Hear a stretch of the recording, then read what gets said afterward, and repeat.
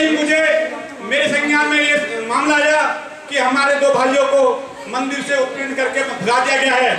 सम्मान साथियों, इन भाइयों को से मेरा नंबर मिला और इन्होंने मेरे को फ़ोन करा और इन्होंने मुझसे कहा कि, धर्मेंद्र भाई जी, ऐसे से हमारे साथ ये दुर्घटना हो गई है तो भाइयों को कहा, मैं डरने की ज़रूरत नहीं है, तुम्हारा भाई तुम्हारा साथ देगा। चाहे आप फ़ोन करोगे तो आपको हाजिर होगा। सम्मान साथियों, अगले दिन गुर्जर ब्राह्मण और जाटों ने मंदिर में पंचायत रखी थी। उस पंचायत के अंदर हमारे लोग मुश्किल से कम पहुँचे थे, क्योंकि लगता है कि और के बीच में जाना उनको भी डर लगता है। तो इन्हों को ये था कि कहीं हमारी बेइज्जती ना हो जाए और हम पे दबाव बना के हमारा जो हम पे जो है ज़बरदस्ती समझौता ना करा जाए। फिर इनको मैंने समझाया, आपको डरने की ज़रूरत नहीं है, हम आपके साथ हैं।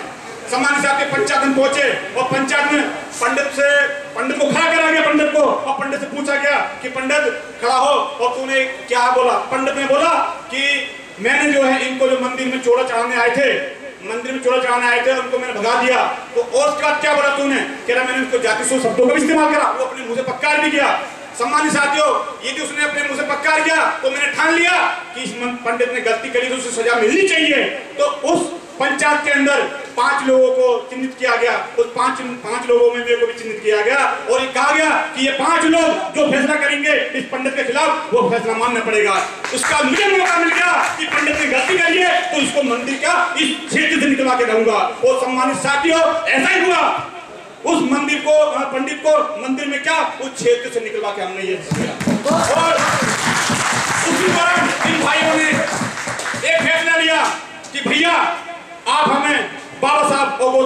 चरणों में ले लो। और हम बाबा साहब और गौतम की में आना चाहते हैं, आज से हमारा मंदिर क्या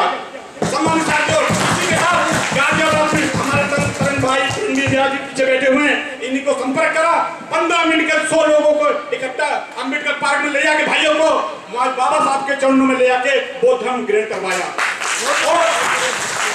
उसके बाद भाइयों ने फैसला लिया है कि आने वाली 26 जनवरी को हिंदू त्याग कर जो त्याग दिया है इन्होंने? अब बौद्ध धर्म से शादी करने जा रहे हैं और यही मैं अपनी बात को विराम करता हूँ। जय भीम, जय भारत, जय संविधान।